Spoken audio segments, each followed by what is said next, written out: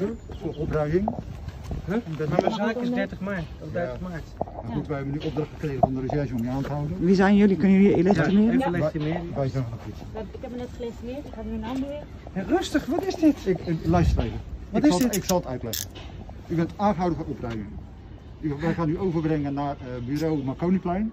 Dan Ja? wordt u voorgeleid voor een hulpofficier van justitie. En dan heeft u ook recht op een advocaat. Wat, wat- ik- Heeft u zelf een advocaat toevallig? Ehm, ja. Gaan we allemaal op een bureau Dan regelen. Ik mag gaan we gelijk instappen.